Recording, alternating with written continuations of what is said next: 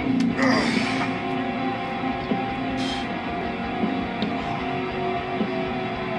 like the living cells, just like the living cells.